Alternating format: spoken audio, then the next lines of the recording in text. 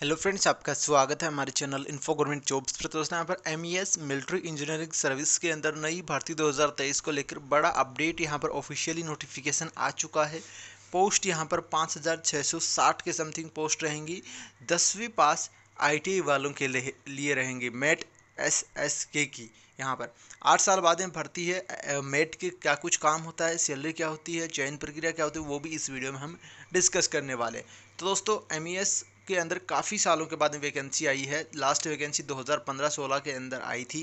यहाँ पर उसके बाद में 2022 में स्टैंडिंग ऑर्डर जारी किया गया था कि कितनी वैकेंसियों पे पदों पर भर्ती होनी है बट वैकेंसी नहीं आई थी। इसी प्रकार यहाँ पर 2023 में भी एक नोटिफिकेशन जारी किया गया है, वो हम देख लेते हैं।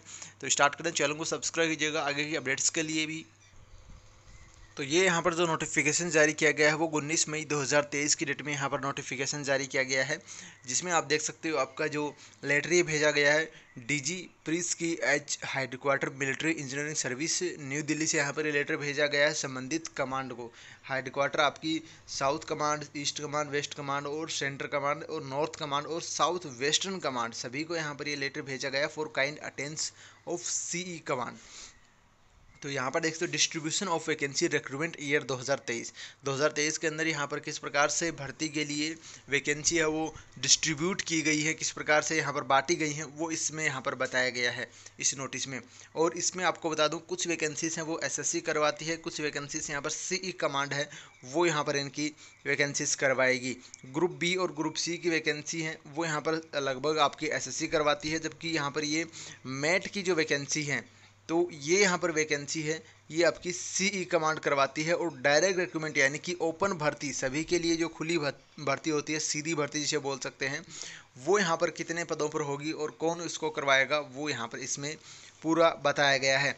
देख सकते हो, सबसे नीचे मेट की है। Concern C W to whom the vacancies have been allotted by C E command as per recruitment section तो यहाँ पर ये वैकेंसी है, वो सी कमांड को अलॉट की गई है, मेट की, जो कि यहाँ पर उनके द्वारा करवाई जाएँगी। बेसिकली दोस्तों, एक बार आपको थोड़ा बता दूँ नॉलेज के लिए।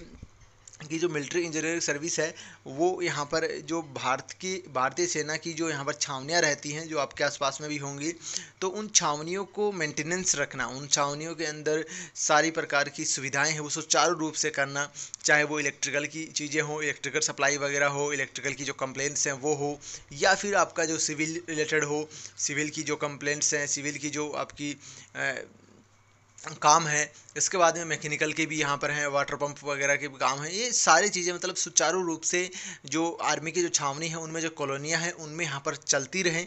इसके लिए ये सर्विस है, इसको मिलिट्री इंजीनियरिंग सर्विस किया नाम दिया गया।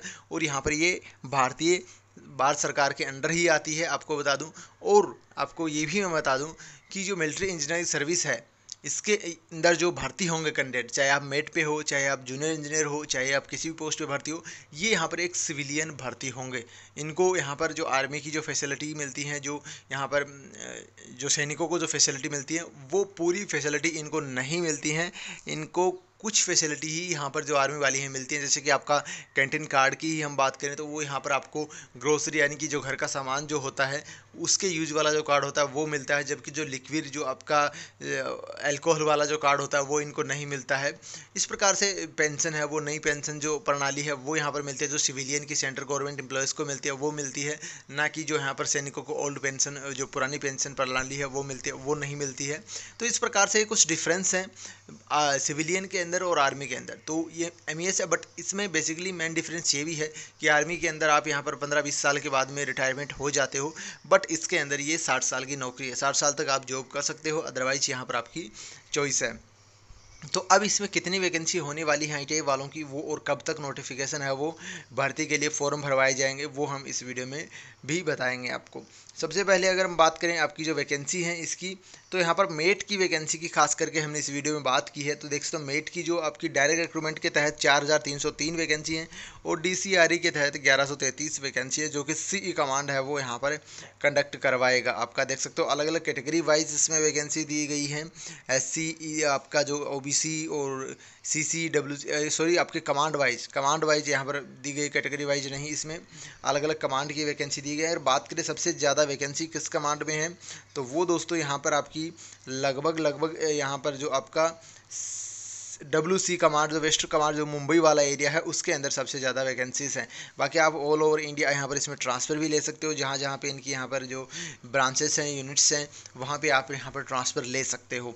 तो ये यहाँ पर टोटल चार हज़ार तीन सौ तीन वैकेंसीज तो आपकी डायरेक्ट रिक्रूटमेंट के थ्रू भरी जाएँगी और सी कमांड की डी सी आर ई की तरह ग्यारह सौ तैंतीस वैकेंसी ये यहाँ पर जो पहले कॉन्ट्रैक्ट पर जो लोग काम करते हैं वहाँ पर या फिर उनको जो छूट के तहत भी एक भर्ती आती है तो वो उसके तहत भर्ती की जाएँगे। बट जो चार हज़ार तीन सौ तीन पद हैं, ये तो सीधे सीधे यहाँ पर आने वाले हैं। अब हम बात करें बेसिकली कि कब तक ये वैकेंसी आएगी, कब तक क्या कुछ इसका प्रोसीजर होगा और क्या कुछ इसमें सैलरी मिलने वाली है। क्योंकि अगर आप अभी से तैयारी करना स्टार्ट करते हो तो ही यहाँ पर आपका सिलेक्शन है वो सिक्योर होगा 2016-17 के अंदर जो वैकेंसी आई थी, उसके बारे में आपको बता दूँ कि वो वैकेंसी उस टाइम में ऑफलाइन फॉर्म आए थे। ऑफलाइन एग्ज़ाम हुई थी और यहाँ पर सारा कुछ जो चीज़ें हैं, वो ऑफलाइन हुई थी। बट अब यहाँ पर सात आठ सालों में काफ़ी कुछ चेंज हो गया है। तो डेफिनेटली आपके जो फॉर्म है, वो इस बार ऑनलाइन होने वाले हैं। और अगर इस बार फॉर्म आते हैं तो लार्ज नंबर ऑफ़ फॉर्म आएँगे, यानी कि बहुत संख्या में फॉर्म आएँगे। दो हज़ार सोलह में बहुत ही कम कैंडिडेटों ने फॉर्म भरे थे इसलिए उन्होंने ऑफलाइन एग्ज़ाम करवा के यहाँ पर कैंडिडेटों को भर्ती कर लिया था। बट अब यहाँ पर आपको पता है बेरोजगारी यहाँ पर किस हिसाब से क्या कुछ चल रहा है। तो डेफिनेटली जो वैकेंसी आएँगी वो ऑनलाइन आएँगी और ज़्यादा संख्या में फॉर्म भरे जाएँगे। तो हो सकता है एग्ज़ाम भी आपकी ऑनलाइन हो। एग्ज़ाम का पैटर्न आपका क्या रहता है? दोस्तों, जो सेंट्रल गवर्नमेंट की जो कॉमन एग्ज़ाम्स होती हैं, उनमें जो पैटर्न अपनाया जाता है, वही पैटर्न इसमें भी अपनाया जाता है।